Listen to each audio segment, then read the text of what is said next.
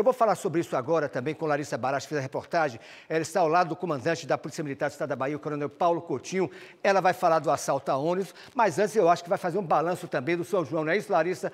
Mais uma vez com você, um abraço aí para o comandante da Polícia Militar. Aliás, eu sou amigo da PM, tive a honra de receber esse título, então pergunta a ele sobre o balanço, depois a gente vai para outros assuntos também, não é, Larissa?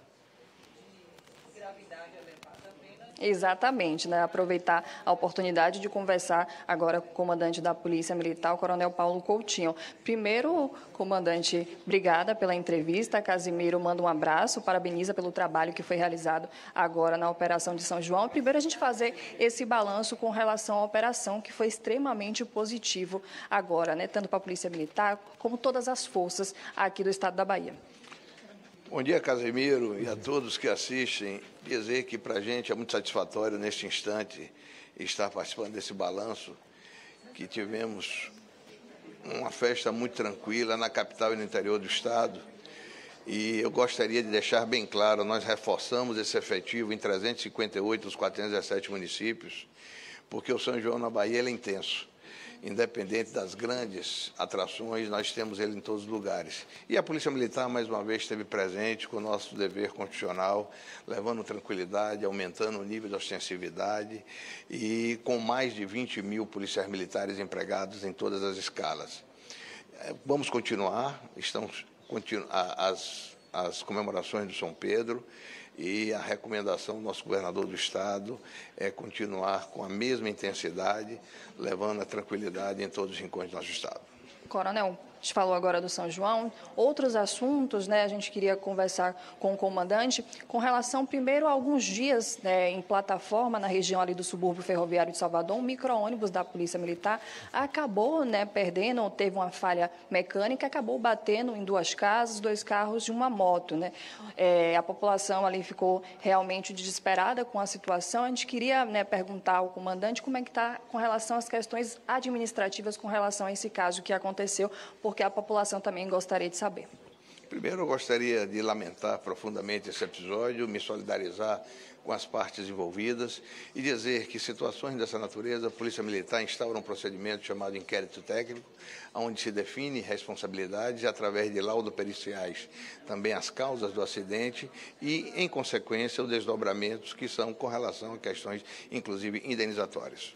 Então, eles vão ser indenizados, mas não existe ainda uma previsão de quando isso vai acontecer. A previsão vai ser após, principalmente, o decorrer dessa apuração, que ficar definido e de quem for a responsabilidade. Agora, Larissa. com relação a outro assunto também que repercutiu na manhã de. Pode comentar, Não, eu queria só saber do é o seguinte: os moradores falam de que eles teriam que entrar na justiça para que venham a ser ressarcidos. Vai funcionar dessa maneira?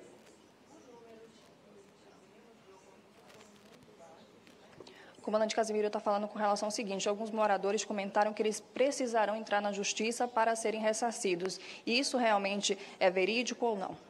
Olha bem, a decorrência disso, Casimiro, eu, eu, gostaria de deixar bem claro que existe uma apuração que vai se definir responsabilidade.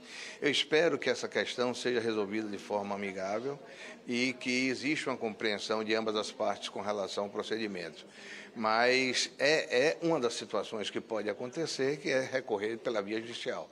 Mas nós ficamos na torcida porque existe o um entendimento e que a indenização ela seja completamente feita às partes que estão envolvidas. Outro assunto que a gente gostaria de abordar também, comandante, que repercutiu na manhã desta terça-feira, foi quatro ônibus acabaram né, ah, sendo assaltados nas primeiras horas da manhã. Só que no balanço também da Operação de São João, a gente viu né, que através da Operação Gêmeos houve uma redução do número de assaltos agora nesse é período também. Como é que funciona, como é que está trabalhando né, a polícia com relação a esse tipo de caso para combater a criminalidade? Porque a gente sabe que a população precisa diariamente né, pegar o transporte público para trabalhar e fica muitas vezes apreensivo. É, você me dá uma oportunidade muito boa de mostrar o que nós temos feito. Nós estamos no terceiro ano com redução de assaltos a coletivos. E isso tem sido feito um trabalho integrado entre Polícia Militar e Polícia Civil. Quatro assaltos no momento desse é um ponto fora da curva. Nós temos dias que não tem nenhum assalto em toda a capital, de 3 milhões de habitantes, com 50 mil viagens de ônibus. Então, eu gostaria de deixar bem claro que é um trabalho contínuo, o crime é um crime muito dinâmico, perpetrado muitas vezes por criminosos que estão iniciando e também outros que são dependentes de droga, mas a gente está atento e nós temos o mais importante a dizer. Hoje, uma redução que supera os 12% nesse ano, já tendo uma redução nos dois anos anteriores. Comandante, muito obrigada pela entrevista e parabéns pelo trabalho que foi realizado pela Polícia Militar agora no São João, que tem sido realizado também ao longo desse ano de 2023. Eu volto com você aí no estúdio, Casé.